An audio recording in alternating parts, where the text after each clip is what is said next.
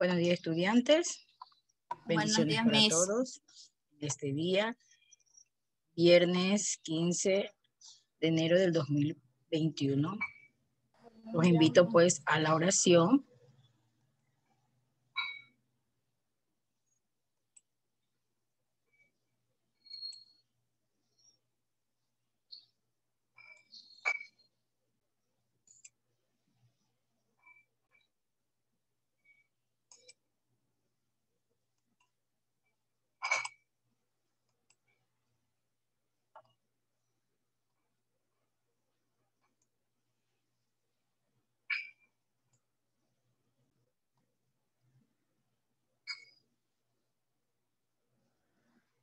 Pues en el mes de enero tenemos que está dedicado a Santa María, la Madre de Dios.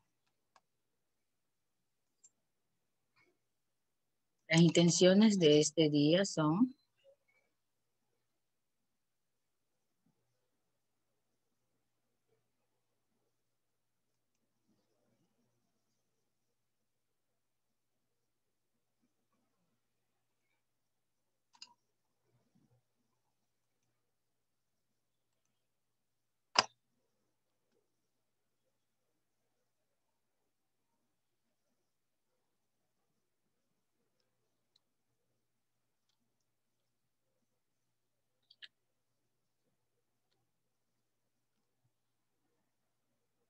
En el nombre del Padre, del Hijo, del Espíritu Santo. Amén. Las intenciones de este día son para que en este nuevo año todas las personas hagamos relucir lo mejor de cada uno para fomentar la justicia, la paz y la solidaridad. Roguemos al Señor. Señor, escucha nuestra oración para que Dios ilumine a los científicos, a los gobernantes de las naciones para combatir eficazmente la pandemia que sufre la humanidad. Roguemos al Señor. Señor, escucha nuestra oración. Para que Dios bendiga a todos quienes formamos parte de la unidad educativa UNIL y nos bendiga siempre con salud, trabajo, felicidad. Roguemos al Señor. Señor, escucha nuestra oración. Por favor, les invito a inclinar su eh, cabecita, a cerrar sus ojos y en este momento pues pedir, poner todos eh, su vida en manos de Dios, hacer su petición.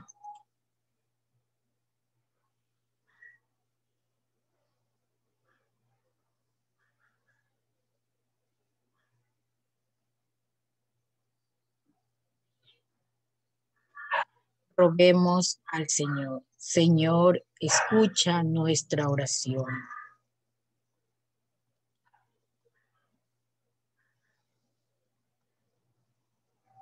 Como estábamos viendo, pues hemos, eh, la semana hemos tratado temas muy importantes, pero este tema eh, eh, ayer pues también lo hemos visto, también de la apologética. ¿Y qué es la apologética? Es la defensa de la verdad, ¿no? ¿Qué es la apologética? La apologética cristiana es una rama de la teología que trata de responder a cualquier eh, crítica de que se opone o cuestiona la, la autorrevelación divina, natural, especial y en Cristo.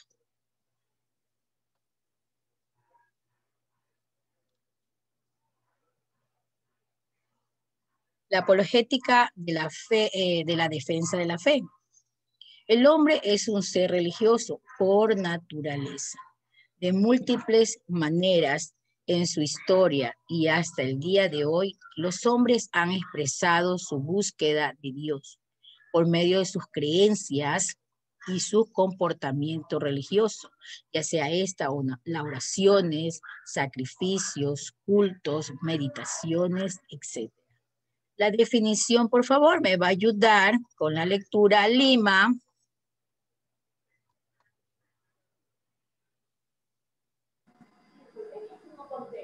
La nueva era es un supermercado espiritual desarrolla el múltiple filosofía y religiosidades, en su mayoría orientales, reúne un sinnúmero de creencias, ritos, cultos, prácticas, supersticiones, relativismo, etc. Algunas de sus características. No hay un fundador reconocido, no tiene cabeza, no tiene un libro sagrado que contenga su doctrina, no tiene una estructura jerárquica, jerárquica organizada, no tiene dogmas o mandamientos fijos, relativismo moral, no tiene un sistema religioso filosófico propio. Gracias.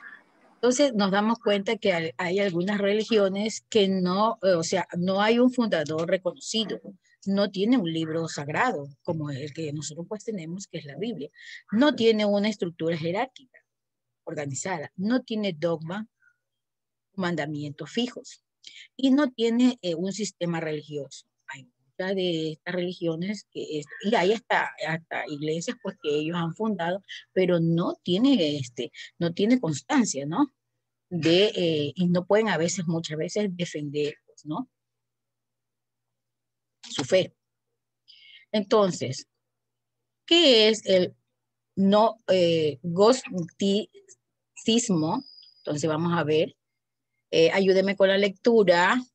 Malagón. Gognotismo, ideología que supone la salvación solo espiritual, donde el cuerpo y por ende la moral no tienen valor por medio de un conocimiento que solo lo saben algunos sin importar la fe ni obras. Etimología. Gnosis, conocimiento, el término proviene del griego.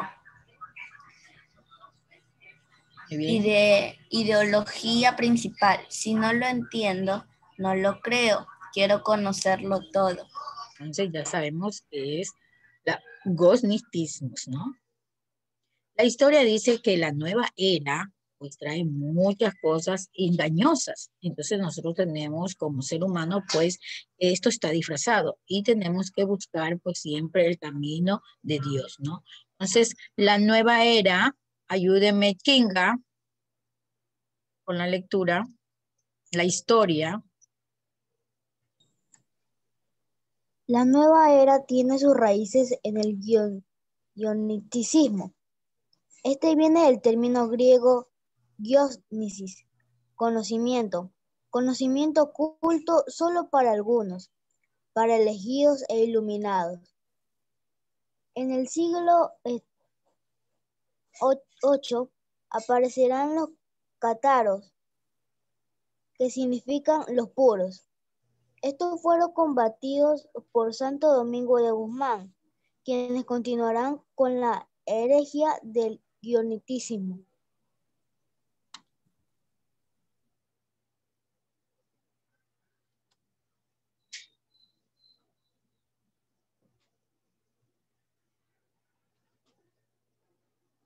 Montalbán, ayúdenme, a finales del siglo XX,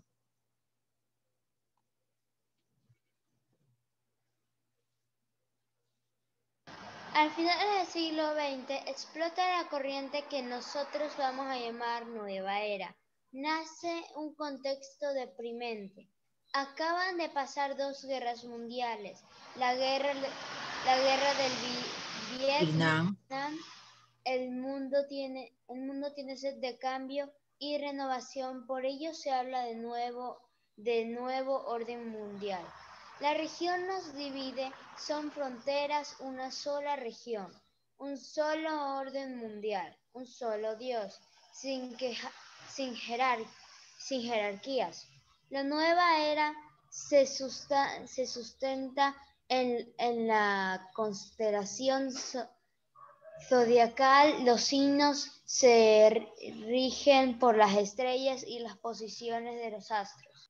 Muy bien, aquí trata sobre eh, que en este siglo, pues la nueva era, eh, muchas personas les gusta pues eh, buscar pues ya sea en, en, esta nueva tecnología que tenemos, el horóscopo, ¿ya? Entonces, se rigen a eso, que eso les va a ocurrir, ¿no? Entonces, nosotros, pues, tenemos que ver la forma, como no, eso no es, porque esto lo hace un hombre, ¿no? Eso no está en la Biblia. Entonces, por favor, eh, eh, seguir, pues, el camino del bien, ¿no?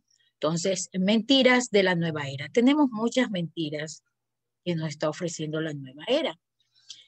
Ayúdeme con la lectura, Cruz.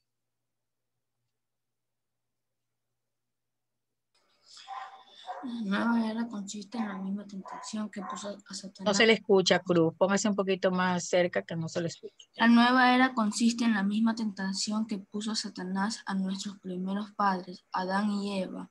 A ellos los engañó con cuatro grandes mentiras para hacerles comer el fruto de mentiras que, que repita el hombre de hoy. Y le dijo la serpiente a la mujer, no moriréis es que sabes, Dios, que el día que comáis el fruto del árbol, se os abrirán los ojos y seréis dioses. También conoceréis el, bien y el mal. Muy bien, entonces, des en cuenta que es lo mismo que le ocurrió pues eh, al principio del mundo. Pues no, al principio de cuando vivía Adán y Eva, pues había también cuatro mentiras que hizo Satanás. Ahora en la nueva era también tenemos mentiras y eso es lo que vamos a leer. La primera mentira es no morirás. Igual lo que le dijo Adán y Eva, que él no va a morir comiendo el fruto, el fruto, ¿no? Entonces, bendito pues que tenía, que iba a ser mejor que Dios, no, que no, eso no le iba a hacer daño, él iba a abrir los ojos. Vamos a ver entonces ahora cuáles son eh, las mentiras de la nueva era. Entonces, ayúdeme con la primera mentira. Coloma. ¿Está Coloma? Porque tiene la pantalla apagada. Coloma. Flores. Mi A ver, la primera mentira. La nueva era, entre sus muchas creencias, incluye la la fe en la reencarnación, enseñanza totalmente opuesta a la resurrección y a la fe cristiana, pues enseña que cuando el hombre muere, su alma pasa a otro cuerpo, ya sea humano o animal, y así mueve varias veces hasta que llegará al nirvana o estado de función con Dios. La fe cristiana enseña que el hombre muere una sola vez y después viene para el juicio. Gracias. Entonces, la primera mentira, por favor, prendan las cámaras. Prendan las cámaras. Están todas las cámaras apagadas aquí en este curso. Algunos ya los han notado. Son pocos los que tienen cámara prendida. Entonces, la primera eh, mentira es que el hombre pues va a reencarnar. Dice que ya pues el hombre muere y reencarna. Esto es la nueva era. Dice que él va a reencarnar ya sea en otra persona, puede morir en otra persona o un animal. La creencia de que nos están haciendo creer por la nueva era, que si nosotros morimos, pues vamos a reencarnar en otra persona. Entonces, la fe cristiana enseña que el hombre muere una sola vez y después viene para el juicio final. ¿no? se acuérdese que hay un juicio eh, particular y un juicio universal. Flores, la segunda mentira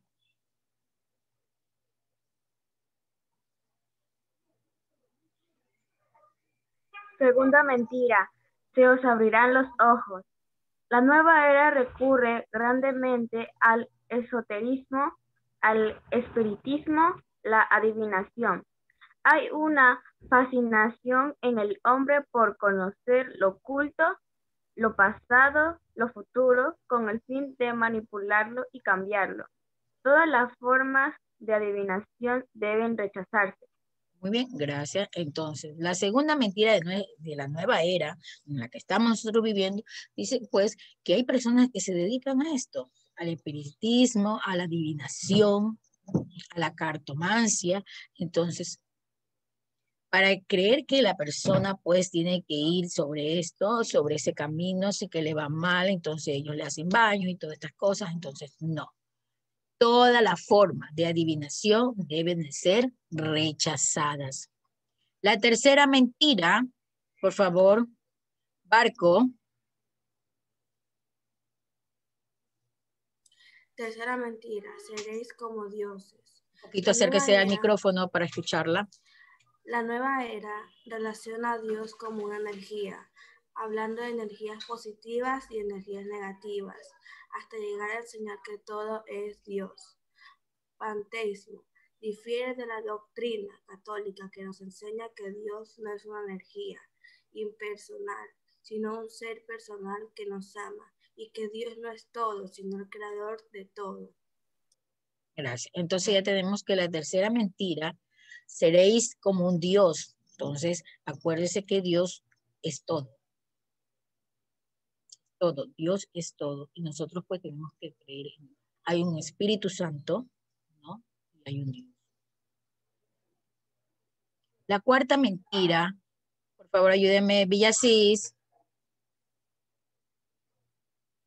Conoceréis el bien y el mal. La nueva era se caracteriza por un profundo relativismo moral. Esta espiritualidad no tiene una exigencia moral, no exige cambio ni conversión. Conoceréis el bien, hermanos. Pues, como seres humanos racionales, pues sabemos lo que está bien, lo cuando hacemos el bien y cuando hacemos el mal. Y sabemos cuando hacemos el mal, pues, y estamos equivocados, pues, ¿qué tenemos? Que pedir perdón, pues, ¿no? Entonces, estas son, pues, las mentiras de la nueva era y que debemos, pues, nosotros como seres humanos, pues, rechazar, rechazar todo esto. El proceso de penetración de la nueva era. Entonces, me ayuda y casa, primera etapa. Primera etapa, iglesia no Cristo, sí, se introduce en las sectas del origen cristiano desacreditando a la Iglesia Católica y a los sacerdotes. Yo creo en Cristo, pero no creo en la Iglesia o en las curas, o en los curas. Segunda, etapa. Segunda etapa. Cristo, no Dios, sí. Etapa de invasión de la religiosidad oriental y los gurúes orientales evitando a dejar atrás a las religiosas cristianas. Tercera etapa. Dios no, religión sí. Se introducen movimientos de desarrollo del potencial ilimitado del ser humano en los que se, en los que se convierten en, en causas religiosas, ideas y planteamientos de pensadores. Cuarta etapa. Región no, sacro sí. Se promueven creencias y prácticas de ocultismo que se presentan como sagradas. Incluye hasta el satanismo. Entonces, en reflexiones nosotros como seres humanos sabemos que existe un solo Dios, ¿no? Y que tenemos, pues, al morir, morimos una sola vez. Y, y después de morir, pues, venimos cuando sea, pues, el juicio final, ¿no? En ese juicio final hay un juicio particular y hay un juicio universal, ¿verdad? Y además, como seres eh, pensantes, pues, ¿no? Reconocer, pues, nuestras fallas. Y que debemos reconocer que nosotros tenemos un ser superior. Muy bien. Han sido muy bonitos los temas de esta semana para defender pues nuestra religión. Igual, para defenderla pues nosotros todos los días hacemos nuestra oración y todo pues nos encomendamos y ponemos en manos de Dios. Por favor, ayúdenme todos. Padre nuestro, que estás en el cielo, santificado sea tu nombre, venga a nosotros tu reino, hágase su voluntad en la tierra como en el cielo. Danos hoy nuestro pan de cada día. Perdona nuestras ofensas como también nosotros perdonamos a No nos dejes caer en tentación y líbranos del mal. Amén. Vamos pues también en manos de la Virgen María, como madre pues nos, nos ayuda Dios te salve María, llena eres de gracias, el Señor es contigo, bendita eres entre todas las mujeres, y el fruto de tu vientre Jesús. Santa María, Madre de Dios, ruega por nosotros pecadores, ahora y en la hora de nuestra muerte. Amén. Amén. Gloria al Padre, al Hijo y al Espíritu Santo, como era el principio, ahora y siempre, por los siglos de los siglos. Amén. Ponernos en manos de la Virgen María este día y todos los días, en cualquier momento, en todo momento que nosotros en nuestra vida, pues pongámonos en manos de la Virgen y de nuestro Dios. Sagrada María, vuestro esclavo soy, con vuestra licencia a pasar este día. No permitas, Madre mía, con tu madre María, que caiga en pecado Buena Madre, Seguimos en el nombre del Padre, del Hijo, del Espíritu Santo. Amén. Espíritu Santo. Amén. Recuerda pues tú y Dios son mayoría. Feliz viernes, fe y esperanza. Bien, voy a tomar lista.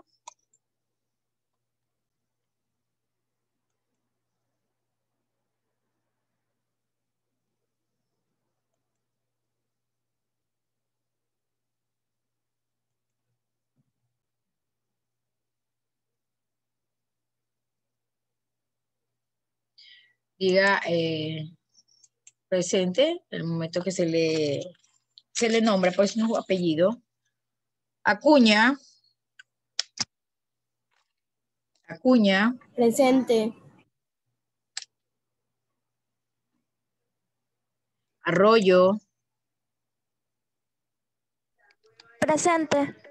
Ayapata. Presente. Barco. Presente. Campo Verde. Presente. Cano. Cano.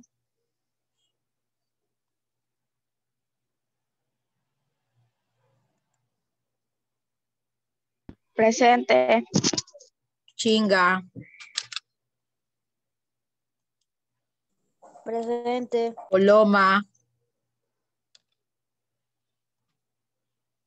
Presente. Coronel. Presente. Cruz. Presente.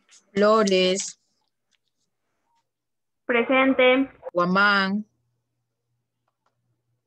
Presente, Miss.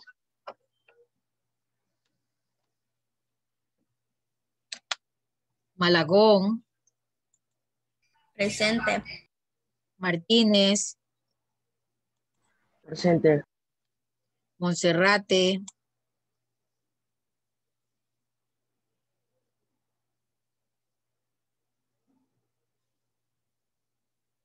Ahí está. A ver. Miss no está Andrea. Sí, no está. Gracias. Yo también estaba verificando acá. Montalbán. Presente. Palacio. Presente. Peso. Va por el chat. Plaza.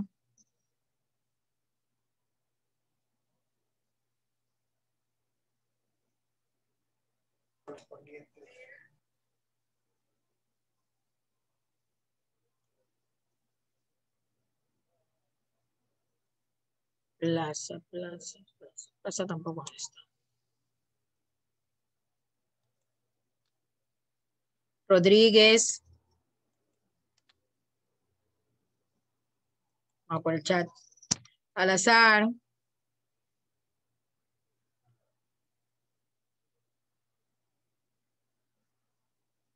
Aquí está Salazar. No contesta Salazar. Presente. Sanguinés. Presente. Pinche. Presente. Villasís. Presente. Casa. Presente.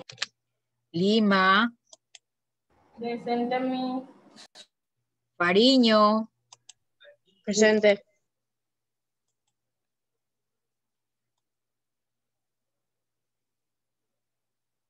Maldonado.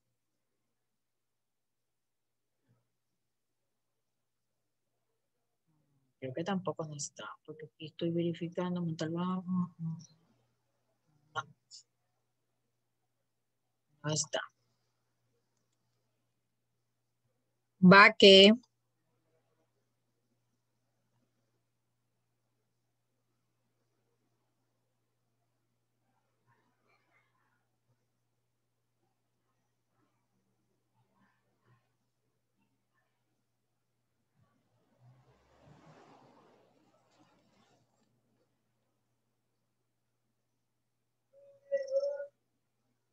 Muy bien. También verifico antes de salir para poderles poner atraso, ¿no?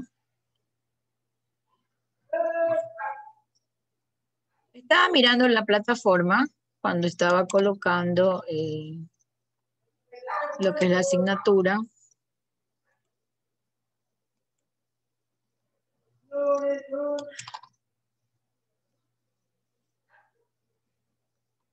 Y este, Campo Verde, hágame un favor, me envía de nuevo, eh, quiero que vea, así no es la forma de haber enviado el, la tarea, la actividad en el, en el muro, ¿no?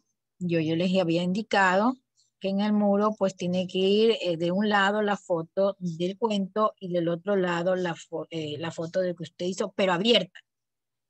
Tiene que ser abierto, ve muy bien, solamente Coloma, el resto no ha enviado, mire, Miren cómo son ustedes. Ayer se hizo... Mi, es que eso es en plan lector. Ay, esto es en plan lector, pero esto no debe de estar aquí. Entonces lo borramos.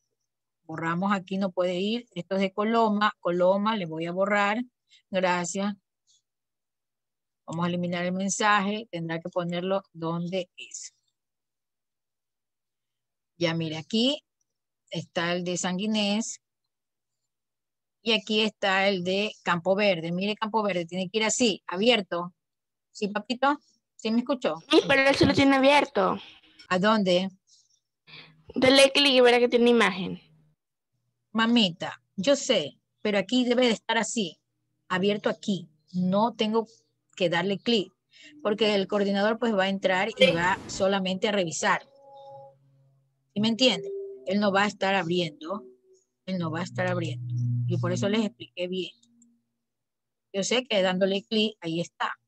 Pero tiene que estar así como están las otras imágenes. Muy bien. Yo sé que esta tiene su tarea ya hecha.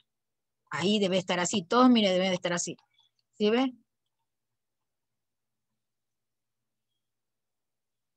Ya, así como usted mismo lo mandó, Villasís, así como usted lo mandó, así abierto, yo sé que se abre, pero no, así debe de estar. Muy bien, y por favor, eh, mire que la tarea ya tuvo una fecha y ustedes todavía no han enviado. ¿Dónde está su tarea? Envíen. ¿Sí ven? Que no envían. Están los nombres de los que ya enviaron. Muy bien.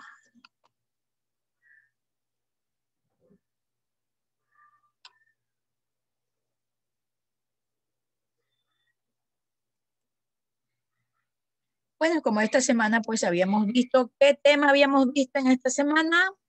Las diferentes, lenguas. ¿no verdad?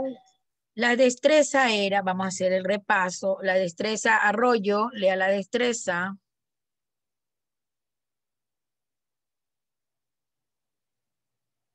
Creo que no me escuchó arroyo. Estoy, mi sí estoy. Ya le Indagar sobre las influencias lingüísticas y culturales que explican los dialectos del castellano en Ecuador en diferentes lenguas. Gracias, Arroyo.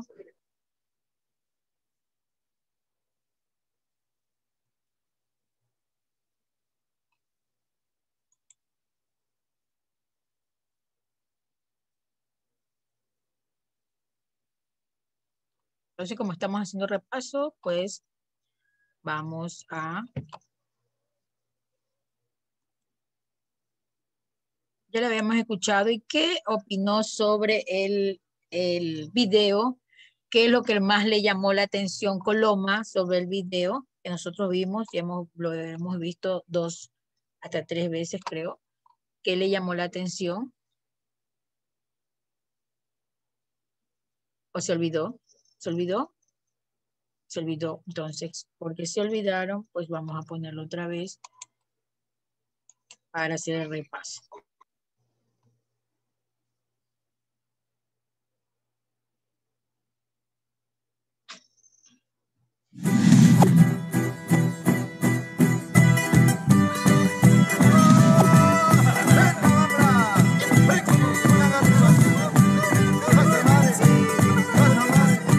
Hay cinco palabras quichuas, palabra carpa, la palabra cancha, la palabra morocho, la palabra eh, guambras y choclos también. Eh, Muy bien, ahora sí se acordaron, sí se acordó Coloma de que nosotros hablamos, hablamos eh, este, algunas palabras a diario, pues, este, eh, quichua. Entonces, alguna de esas palabras que le llamó la atención y que al diario, pues a veces nosotros las decimos, ¿cuáles de esas palabras usted eh, eh, dice?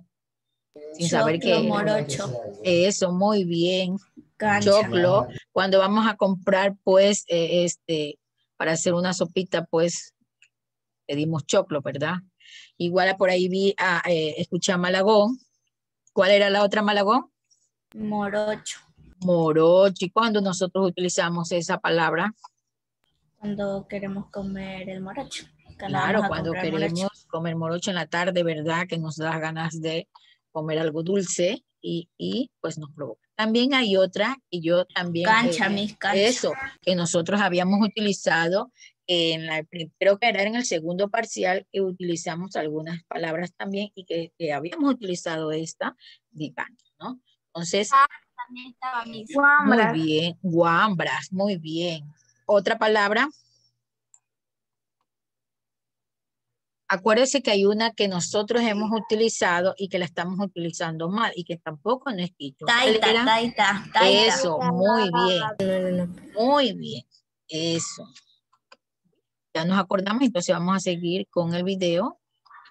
En el español de Quito y de la Sierra particularmente hay esta mezcla de palabras por una razón que en pragmática lingüística se llama lenguas en contacto. Entonces, las lenguas se prestan palabras entre ellas. Y no solamente a nivel de palabras, sino a nivel de sintaxis, a nivel de gramática.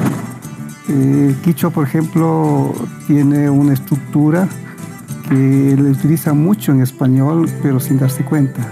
Por ejemplo, eh, cuando se dice da, da dando, darás dando, darás viendo, es una estructura propiamente del quichua. Eh, cuando dicen vengo comiendo, vengo durmiendo, en quichua sería mi pachamuni, puyas pachamuni. En español, en realidad se debería traducir vengo de jugar, vengo de comer.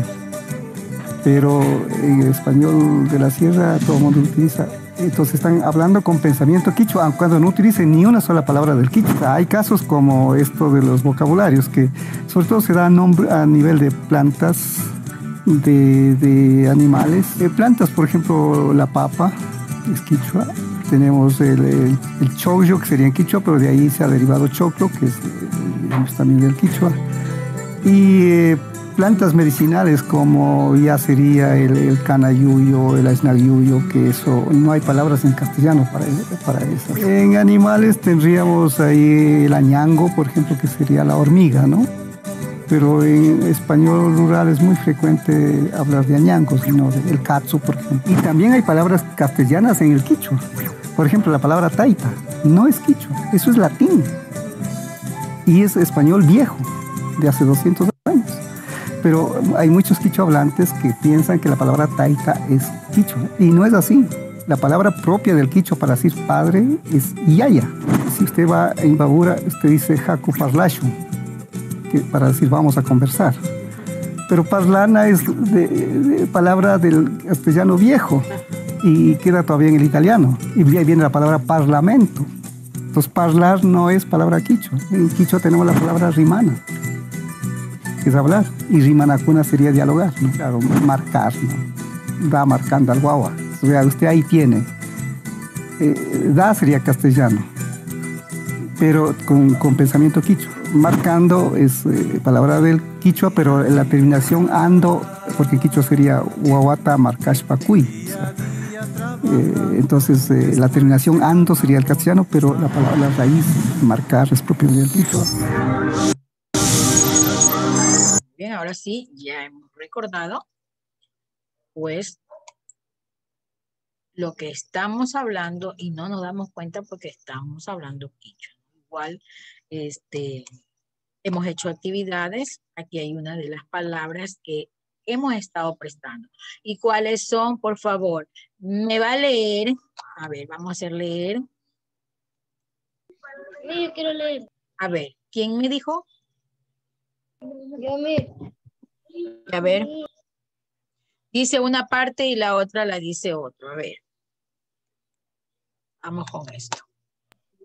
Una lengua puede ampliar, ampliarse al, Muy bien. al incorporar palabras presentadas de otros idiomas. En Ecuador se utilizan con frecuencia palabras en quichua que se han incorporado a la lengua cotidiana. Algunos ejemplos son. Muy bien, mira, este, tú vas a decir la, la primera y Malagón dice el significado. A ver, vamos, este, Guamán, ¿sí? A ver, diga. Zanja. Muy bien, sigan. Trabajo corto para obtener una cantidad de dinero necesaria en un momento determinado. Cocha. Laguna o charco.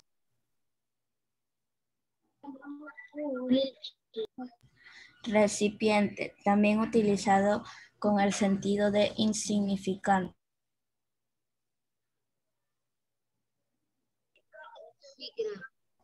Bolso. Guagua. Niño pequeño. Taita. Padre. Guambra. Muchacho. Chacra. Terreno de cultivo. Muy bien, entonces hemos visto algunas palabras que la prestamos, ¿no? Eh, yo les había mandado a que lean, ¿no verdad? A que lean, aquí yo les había dado un link y que son 10 eh, palabras que usamos a diario y que no sabemos qué era origen del quichua, ¿no? Entonces yo les mandé a leer y qué significaba. A ver, vamos con la primera, cancha. A ver, Rodríguez, usted póngalo por, eh, si puede hablar, ¿sí? Ya eh, tiene, no, lo pone por entonces por el chat. Me dice que es cancha, el significado porque yo les mandé a leer y usted tenía que haber hecho ya esa investigación con el link que yo les di. Vamos con Poncho. A ver, coronel. ¿Qué es Poncho? De acuerdo al link que yo les mandé, usted tenía que haber leído y qué significado tenía. Alza la mano quien tiene ya investigado, porque eso ya tenían que haberlo leído. Ustedes no están haciendo las actividades. Mija, el poncho es algo que te cubre del frío. Y ya, eso estaba, en, eso estaba en el, ya. Siga, siga. También el poncho lo utilizan a veces en unas fiestas tradicionales. Muy bien. Vamos con eh, cura. A ver, Flores, ¿leyó? No leyó. Yo les di el link, estábamos haciendo ese día, miércoles, abrimos y estábamos, nos quedamos por la segunda palabra, creo por la primera palabra, y ahí ustedes se, tenían que seguir leyendo.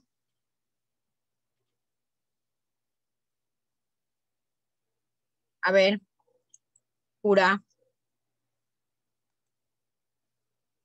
Abra el link, por favor, alguien que abra el link para que puedan leer no están haciendo las actividades que se les está enviando. Dices cómo se le llama un sacerdote. Muy bien, está bien.